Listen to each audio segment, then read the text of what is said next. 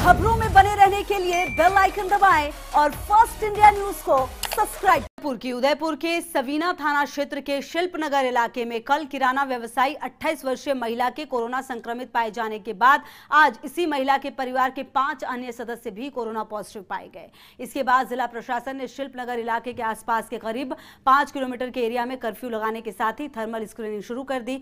दरअसल इस अट्ठाईस वर्षीय महिला के पति, दो बच्चियाँ, सास और बहन कोरोना संक्रमित पाई गई है। प्रशासन ने इस इलाके में रहने वाले लोगों से अपील की, यदि कोई भी व्यक्ति पिछले कुछ दिनों में इस परिवार के सदस्यों के कॉन्टैक्ट में आया हो तो चिकित्सालय में आकर कोरोना संक्रमण की जाँच कराए, ताकि संक्रमण के प्रसार और प्रसार को रोका जाए। टीमें लगातार पूरे इलाके में स्क्रीनिंग और सर्वे कर रही हैं, क्योंकि पाँच और कोरोना पॉजिटिव सामने आ गए हैं। सवीना इलाके में कल कोरोना पॉजिटिव मिली थी एक महिला और उसके बाद अब इसी परिवार के सभी पॉजिटिव सदस्य हैं और इसलिए अपील यही की जा रही है कि इन परिवार के कांटेक्ट में जो भी लोग आए हैं, वो खुद सामने आ जाए ताकि उनकी जल्दी से जल्दी जाँच की जाए और उनको बचाया जा सके इस संक्रमण से।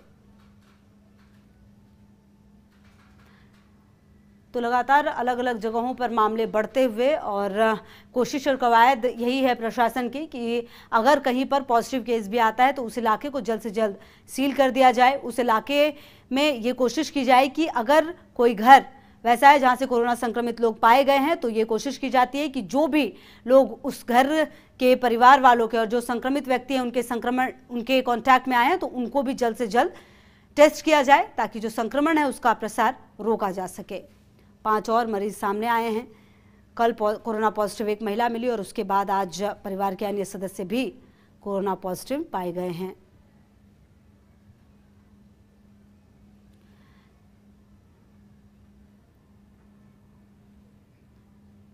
और उदयपुर में ये कोरोना संक्रमण लगातार बढ़ रहा है। और हमारे सहयोगी रवि ज़्यादा जानकारी के लिए हमारे साथ जुड़ गए हैं। रवि, एक महिला कोरोना पॉजिटिव पाई गई और उसके बाद उनके घर के पाँच और लोग कोरोना पॉजिटिव पाए गए हैं। सरकार किस तरह से इस पूरे कदम को उठा रही है ताकि और लोग संक्रमित ना हो? जी, बिल्कुल। देखिए, खुशबू कल दरअसल देर शाम उदयपुर का जो शिल्पनगर एरिया है, सवीना थाना क्षेत्र का, वहाँ पर एक 28 वर्षीय महिला जो है, वो कोरोना पॉजिटिव आई थी। और दरअसल सबसे बड़ी बात ये थी कि ये जो महिला है, ये किराना व्यवसायी भी है, ये और इसका पति जो है, दोनों किराने की दुकान चलाते हैं। तो ऐसे में कल से ही जिला प्रशासन और स्वास्थ्य महकमा साता सावचेत था और एक तरीके से कहें तो संवेदनशील भी था। और पूरे इलाके को कल ही रात को जो है सील कर दिया गया था, कर्फ्यू लगा दिया गया था। आज सुबह ये जो महिला है, इसके परिजन जो है, जिसमें कि इसका पति, दो बच्चियाँ, एक साथ और एक जो इस ये जो महिला है, इसकी बहन जो है, यानी कि पाँच लोग जो है, वो आज कोरोना पॉजिटिव, उनकी रिपोर्ट्स भी आई। इसके बाद में पूरा जो इलाका है, तकरीबन पाँच किलोमीटर का जो दायरा है शिल्पनगर का, उसमें स्थायी निषेधाज्ञा लगाई गई है। लोगों को एंट्री नहीं दी जा रही है।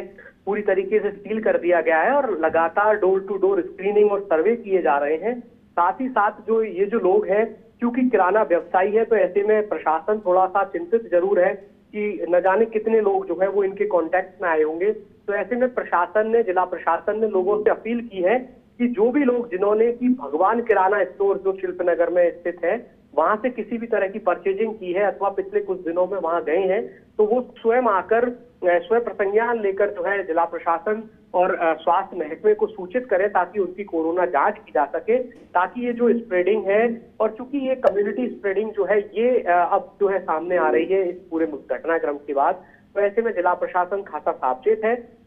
उदयपुर में आज अचानक से जब मरीज़ आए तो कुल जो संख्या है वो चौदह हो गई और ऐसे में अब जिला प्रशासन की यही कोशिश है कि ये जो कोरोना का जो संक्रमण है और ज़्यादा ना फैले। जी हम्म।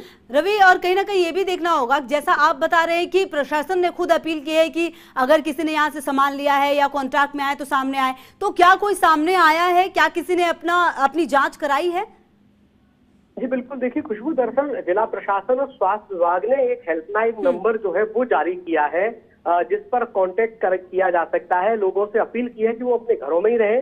लेकिन हम्म। अगर इस इस दुकान से कोई सामान खरीदा है अथवा इस ये जो दुकान के जो संचालक हैं उनके कांटेक्ट में आए हैं तो खुद जो है इस हेल्पलाइन नंबर पर फ़ोन करें। स्वास्थ्य विभाग की जो टीमें हैं वो स्वयं वहाँ पर पहुंचेंगी घरों पर और वहाँ जाकर कोरोना जाँच की जाएगी। इन तमाम लोगों की जो उनके कॉन्टेक्ट में आए हैं तो जिला प्रशासन के पास में जो हेल्पलाइन नंबर है उस पर कई फ़ोन कॉल्स आ रहे हैं लगातार।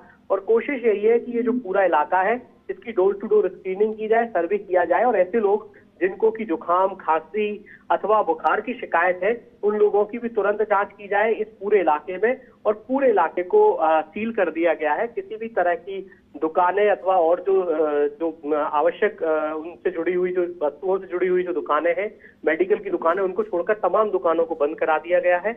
और अब कोशिश यही की जा रही है कि उन तमाम लोगों को आइडेंटिफाई किया जाए, जो कि पिछले कुछ दिनों में इन लोगों के कांटेक्ट में आए हैं, उनकी जाँच हो।